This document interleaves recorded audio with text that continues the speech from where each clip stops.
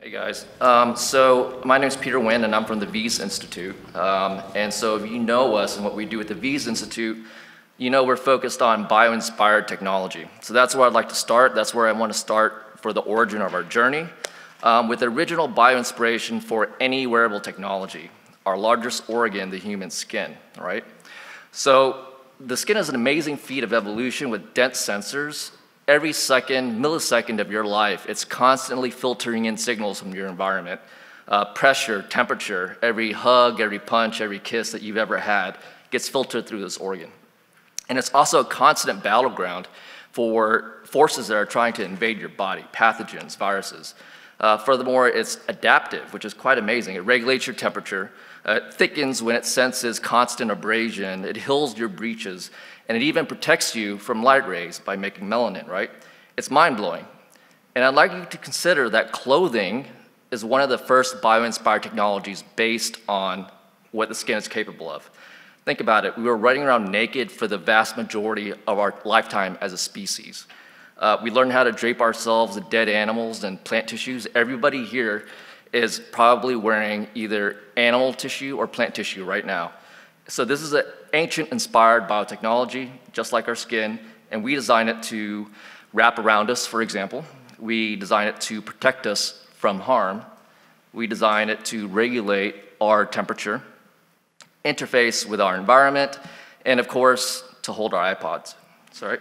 So wearables are a barrier and our interface with the world around us. But when you consider clothing, not much has changed for a very long time the functionality of our wearables pales in comparison to the human skin.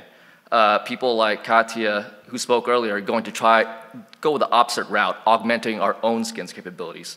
Um, and so integrating biological systems into the clothing that we wear, wearables, holds great promise, uh, as we saw in the previous presentation. And we've seen, you know, all of these efforts have been very inspirational to us in the Collins Lab. Um, and what we want to do is take a step back and consider that integrating living things into wearable technologies has its own peculiar challenges. Just like any other living thing, this has been touched upon in the, in the previous presentation. Take, for example, your typical household pet, right? If you don't give it water, it dies.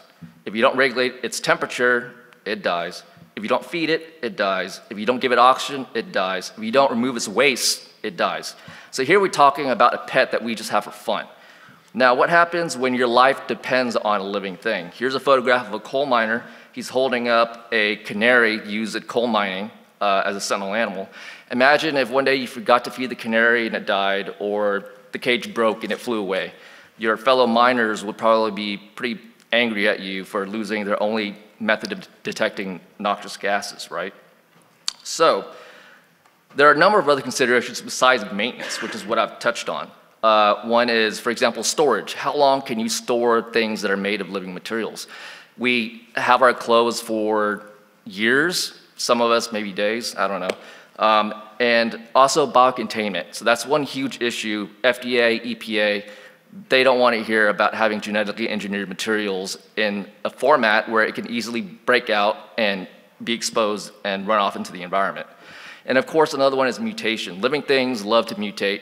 If you program them with a genetic program that they don't like, makes them sick, they'll find a way around it. They'll evolve a way around it, right? So what can we do to kind of um, merge this operational parameter mismatch between synthetic biology and wearable technologies?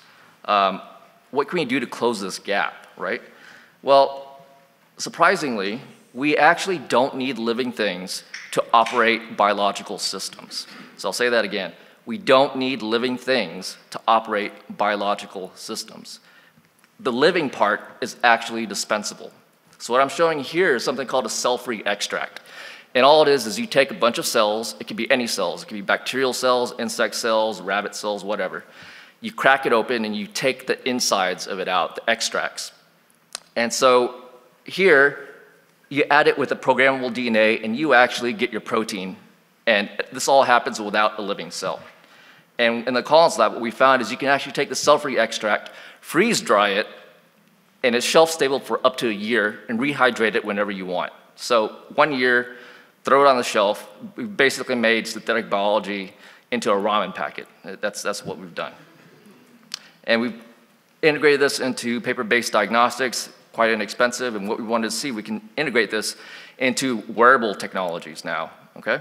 And so what we wanted to do is we want to develop a platform for detecting a variety of environmental signals up top, pathogens, metabolites, toxins, and integrate them into a wearable format using traditional fabric technology. Obviously, the military is interested in our technology, but we also envision this being implemented in other situations. Something that's on everybody's mind right now is those on the front line in cl clinics and field hospitals. They have the greatest danger of being exposed. They're just supposed to keep us safe, and we need to give them advanced technology for monitoring and detection for their exposure.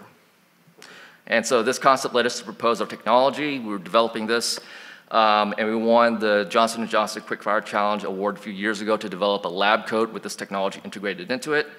And so this is what we've come up with. Um, so you can see we're going to integrate freeze-dried cell-free synthetic biology reactions into clothing. And once it gets rehydrated, it'll automatically generate an output for you to show what you've been exposed to. Okay? And the way we're going to do this, we're going to design little prototypes. These are modular, and eventually they'll be integrated into clothing. You can see it's flexible, stretchable, and it basically wicks in anything that you've been exposed to. Okay, and so time for some hard data, some hard science now. Um, so in the blue here, uh, I'm basically showing the blue on top is giving you a colorimetric signal. On the left, I'm just adding in DNA or not adding in DNA. You can see when you add in DNA, it turns from yellow to purple. Now on the right, what I'm showing is actual synthetic biology circuit. Now this is actually detecting anhydrotetracycline, a small molecule. So you can detect chemicals using these freeze-dried wearable circuits. Uh, furthermore, on the left now, you can also detect viruses. So now this is something called toehold switch, synthetic biology circuit, and we're throwing Ebola RNA at it, and it can detect this within half an hour. So within half an hour, you'll know if you've been exposed to Ebola. Um, on the right here, we have another riboswitch. This one is detecting another small molecule, theophylline. You can see within 30 minutes, you have uh, yellow to purple change. And so we wanted to expand on this. Uh, you know, this is great to have a colorimetric change on you, but you're not going to be looking at yourself all the time, right? So we want to take it to the next level. We want to develop a prototype that was self-reporting and was capable of fluorescent output. It's fundamentally how labs now uh, work to detect influenza and the coronavirus. They use fluorescent outputs. And so the sample will come in from the top, it'll get drawn into this reaction chamber, and fiber optics integrated into our wearable will actually constantly detect to see if anything is being uh, detected. And so again, we have a theophylline riboswitch. This is just to show that you can detect chemicals. You can see on the very top is where the chemical is uh, and the reaction happens, whereas on the bottom, we don't add anything and there's basically just water and you don't see any fluorescence. Um, and this is an amazing example here. We threw HIV RNA into another toehold switch, and you can see within 10 minutes, you actually have a signal that you can detect showing you that you've been exposed to HIV somehow. And also, we wanted to develop a nerve agent sensor. So this is a nerve agent, the kind that the Russian agents used, uh, supposedly. And um, so we can actually detect nerve agents. This is what the, the, military really wanted us to go for. And we also integrated something that uh, Luis talked about earlier, which is CRISPR-based sensors. And so in these CRISPR-based sensors, the CRISPR-Cas12 is the enzyme that actually detects a nucleic acid molecule. And when it does, it actually chews up everything else around it, including these fluorescent tags that we throw in as well.